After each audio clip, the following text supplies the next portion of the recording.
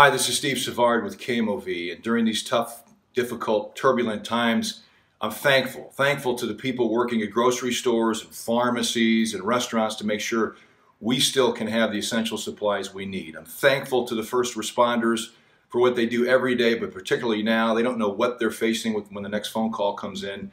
And I'm especially thankful for all those working in the medical industry, the nurses, the doctors, doctors' assistants, techs, who are on the front lines battling coronavirus every day. Thank you, thank you, thank you.